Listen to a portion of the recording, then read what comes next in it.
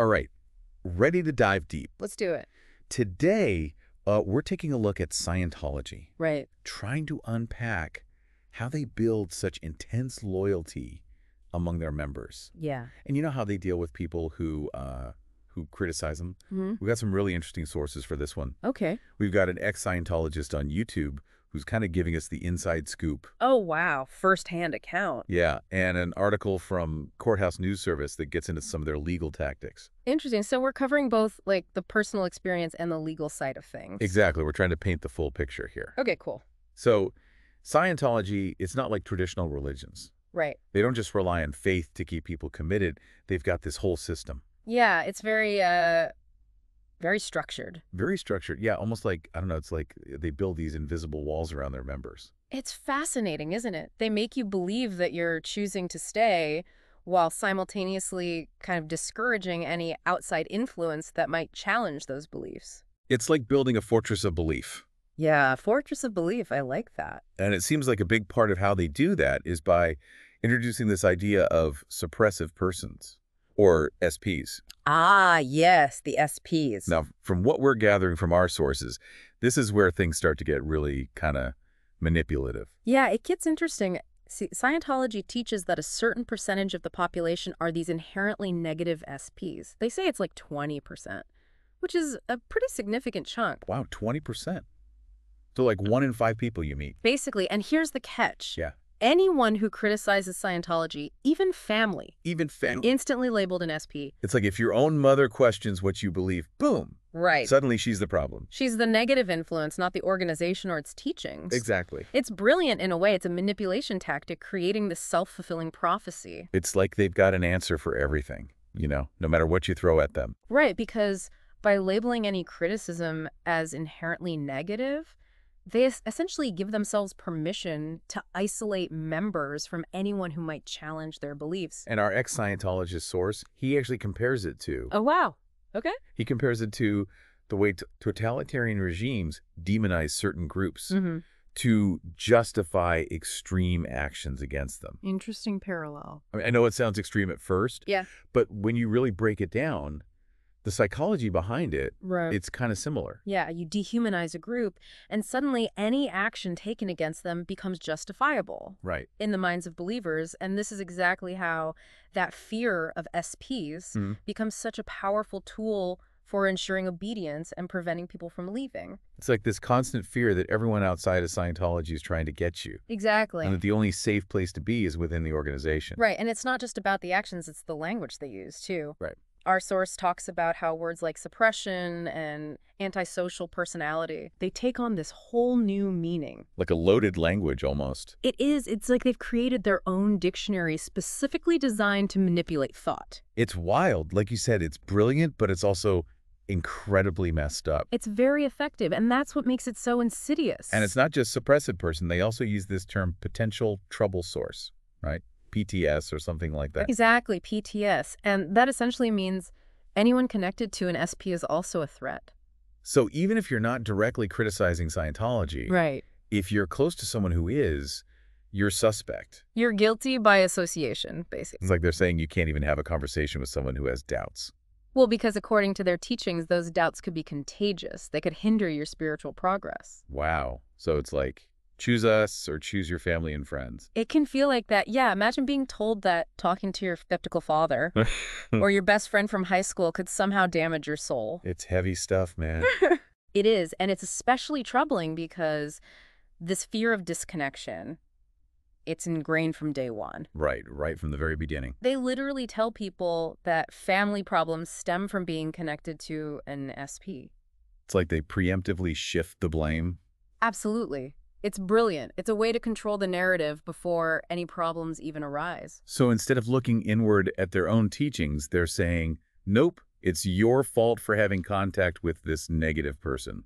Exactly. Any personal struggle, any doubt, it's not Scientology's fault. It's the fault of that outsider, that SP, that PTS. It's like they're creating this closed loop, Mm. making it nearly impossible to escape the cycle of control. It's very difficult once you're in that mindset to even consider alternative explanations. And this is just the beginning, right? yeah, we're just scratching the surface here. Because this control, it becomes even more apparent when you look at how Scientology handles any kind of criticism from the outside world, Oh, absolutely. like how they react when someone dares to question them publicly. They do not take criticism lightly.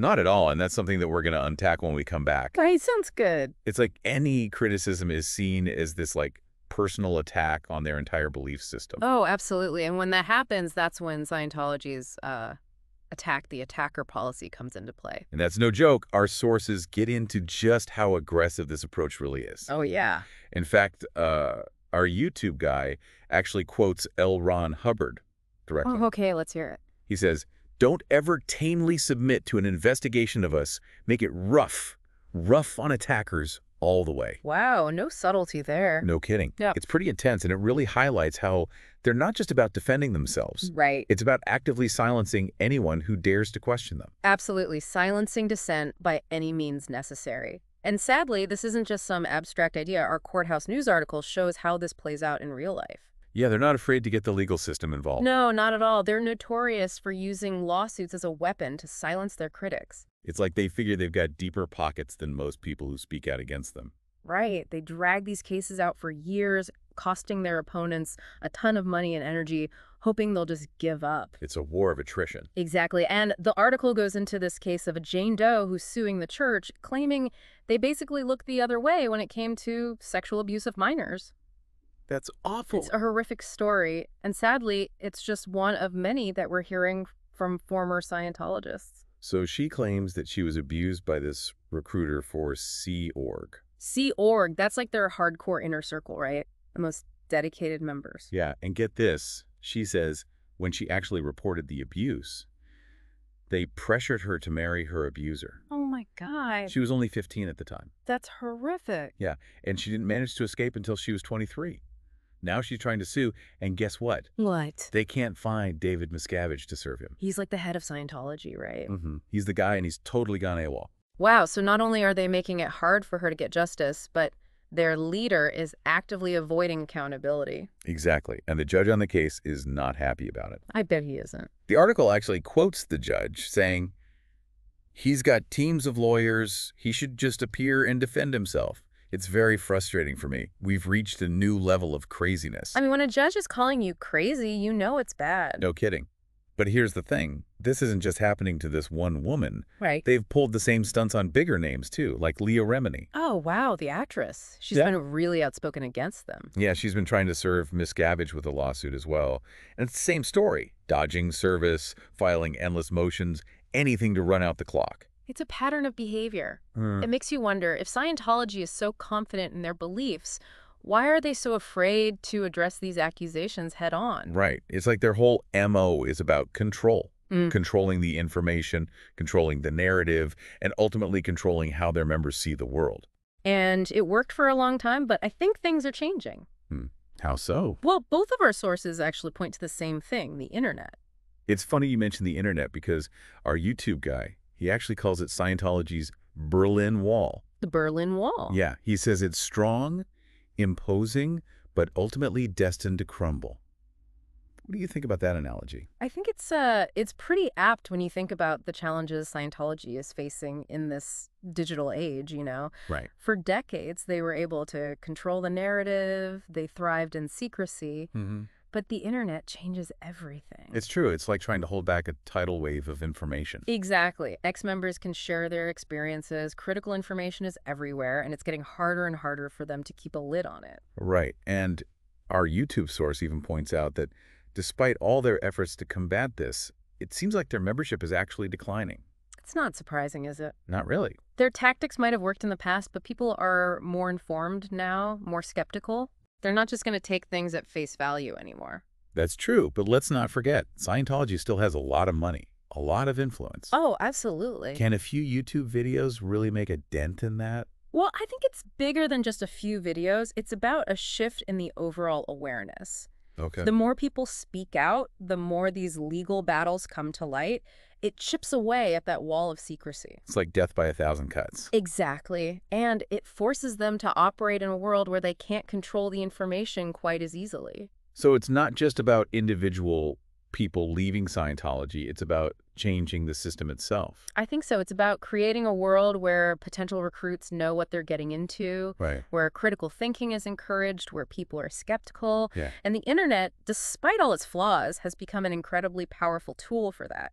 Couldn't agree more. This has been a fascinating deep dive. It really has. As we wrap things up here, what's the one thing you really hope listeners take away from this look at Scientology? I'd say the biggest takeaway is that even the most seemingly impenetrable systems, they're not immune to the truth. Mm. And the truth has a way of bubbling to the surface, especially in the age of information. That is a great point to end on. So, to everyone listening, remember to question everything, think critically, and never underestimate the power of an informed mind. Until next time, keep diving deep.